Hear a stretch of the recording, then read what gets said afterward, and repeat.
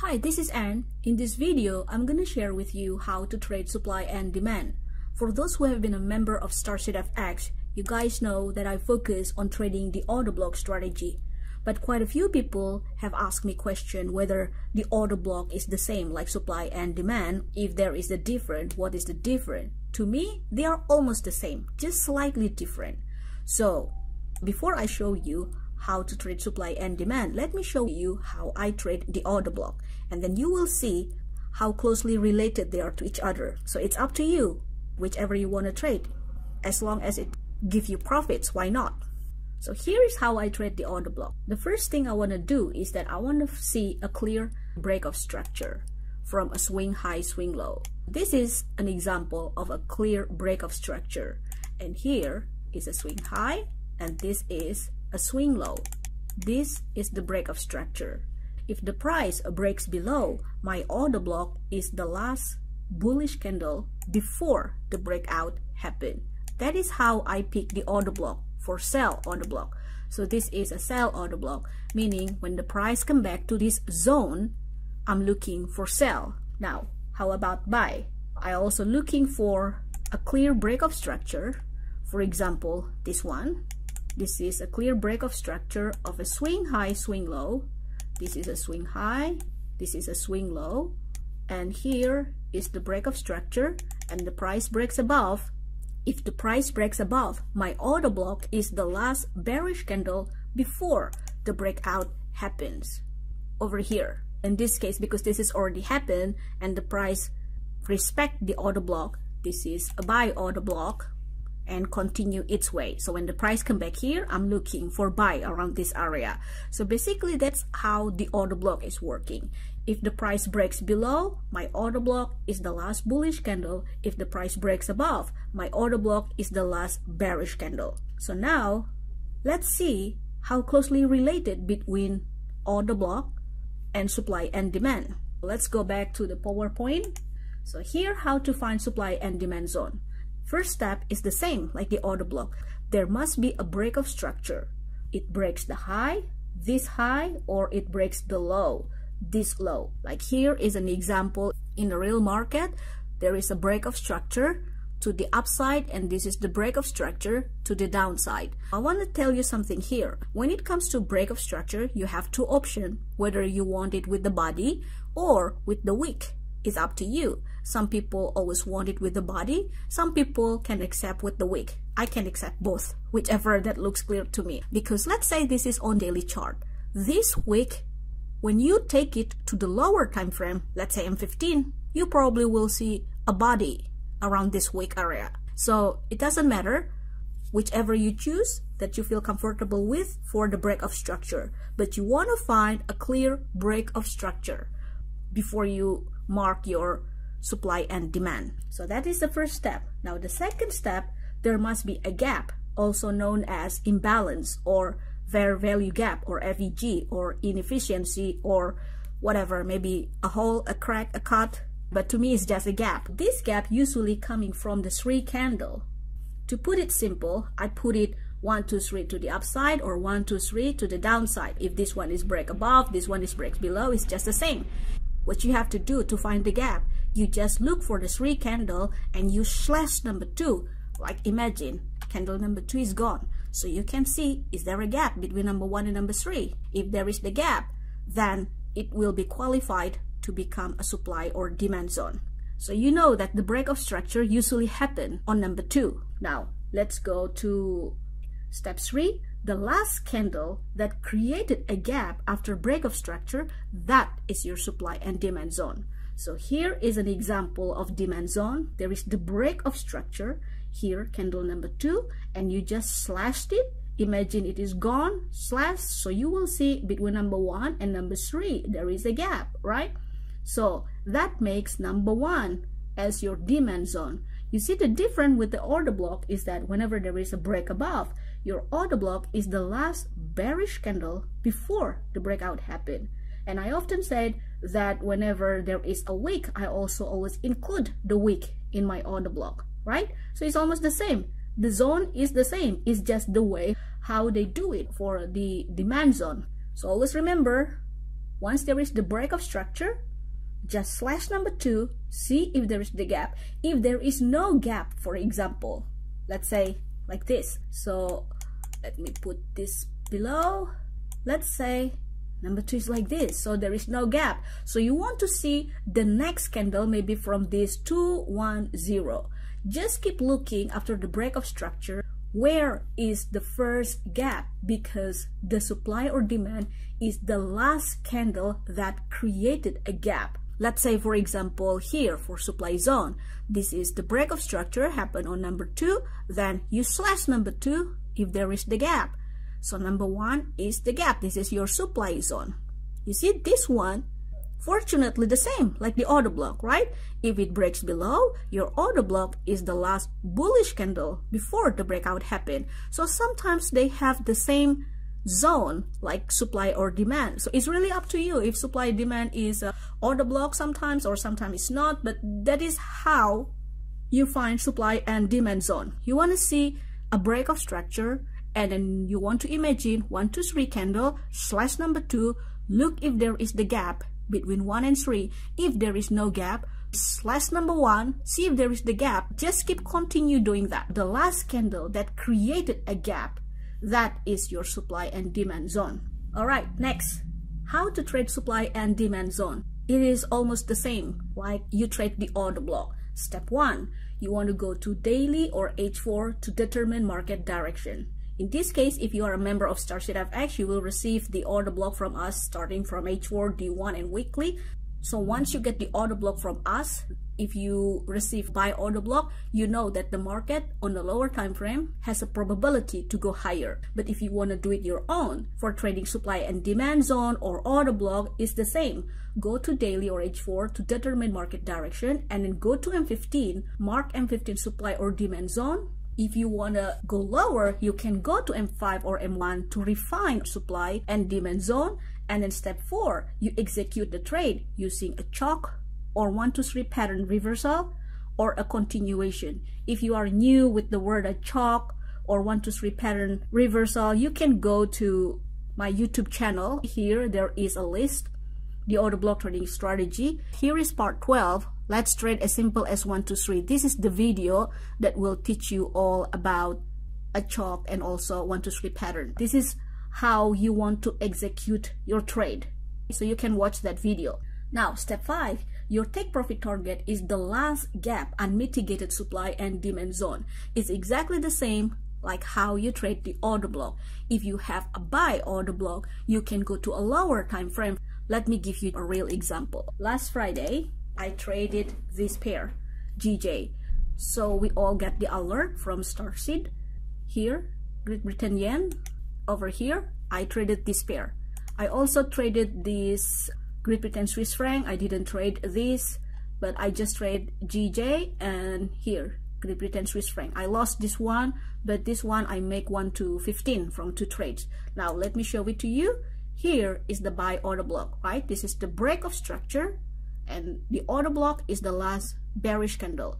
If it is a supply and demand, you slash number two. So here is a gap. So this is your supply. But because we are trading the order block, so here is our order block. Even though that we are not focusing on the imbalance when we are trading the order block, but as you can see, almost every of our alert, there is always the gap. So it qualified also for you if you want to trade the, the supply and demand, you can also see it. There is imbalance, there is the gap in almost every of our order block. Let's take a look again, unless it is a continuation. This is a continuation. So let's take a look this one you see that this is order block there is the gap slash this is basically our supply and here again there is the gap so even though I do not focus on the imbalance but most of our alert usually have imbalance you just can check it so anyway let's redraw this so let's go back here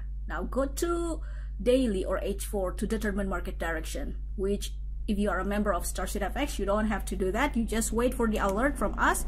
There, when you receive the alert, you just go directly to M15. Now, you can refine to a lower time frame and mark or your supply or demand zone. In this case, let's go back here. So here is the first break above the clear one but basically you can choose this as the first break of structure this is break below based on the 1 to 3 pattern. I highly recommend you to take a look the video about 1 to 3 pattern so you can get early reversal pattern if you will. So here is the break below, this is break above. So basically this is my order block and there it is not a clear because there are only two candle here for supply and demand. So you will basically highlight the wick as your demand. And then let's go to M15 I'm sorry I mean M5 so you can refine all this like if this is the break of structure. So where is your supply and demand? Here slash this one and make this one become your supply it didn't work then you want to see another one because sometimes in one leg you can find several supply if there are several gap so here between this one there is no gap but as for the order block, this is the last bearish candle. So what I did, I just put it at 50%, it hit, and my take profit target was the last high. And here, I took it 1 to 10. This is the reversal pattern from here based on a CHoCH 1 to 3 pattern reversal. Again, you want to check this video, part 12. Let's trade simple S1, 2, 3. You will learn how to trade the reversal from there. It is a quick video and simple. So this is a reversal pattern based on 1, 2, 3. While a continuation, all you have to do, you just continue because the market is a buy. So you only want to buy. You can keep looking for break above. Let's see what is the continuation look like here. So this was my entry over here last Friday. I took it at 50%. I take it 1 to 10 and the second one I was scaling based on this one this break of structure oh why is so difficult over here there from this candle to this candle. This is the break of structure and my order block is the last bearish candle before the breakout happened. If you want to trade supply in demand this is your demand also. The same like order block. There because this is the break of structure and this is one two three candle slash number two you see there is the gap. So this is your demand which also the same as my order block. So this was my entry and for some reason for this I took only one to five because I thought the price will come back here to take this one or this one. So I just took it 1 to 5 but it didn't and then it continued and hit my first trade 1 to 10 and then this finished with 1 to 5 and that's it. I got 1 to 15 so that is how you trade supply and demand zone. It is up to you if we go back here again. Sometimes supply and demand zone choosing the same candle exactly as the order block. Sometimes it is not. But basically they are closely related and their zone almost around the same as the order block.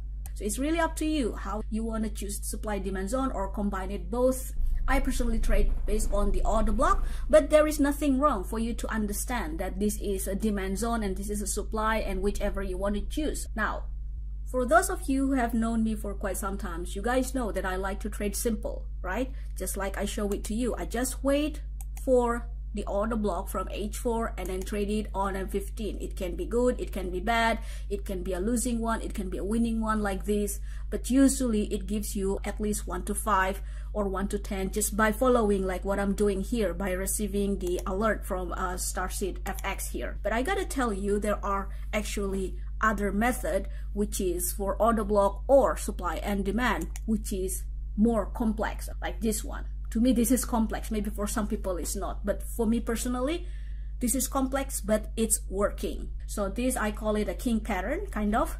If you want to trade more complex pattern especially if you are a scalper you want to learn this pattern if you are a scalper because it works so well for the scalper. So if you want to learn more about this i would highly suggest you to learn with kyle.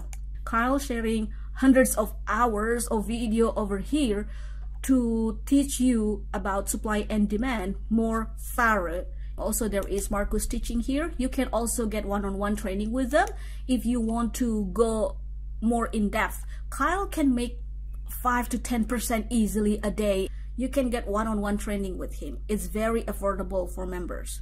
Even though I do not trade this. I understand. It's really good. I just don't really trade it because I like to trade simple. Like I show it to you. You see, I just see one, two, three pattern and take it on 50%. It has been working for me like this. But some people like to trade in more advanced way which is good but maybe some of you also want to trade just simple like me like this that's also good because I've proven to be able to work a full-time trader just by trading like this on M5 M15 or above I just don't trade on M1 for now because it's still too fast for me but I just trade starting from M5 or M15 this way so as for now let me give you a quick overview how this complex tradings looks like. In case you want to learn more, you can learn with Kyle. But this is basically the basic how it works.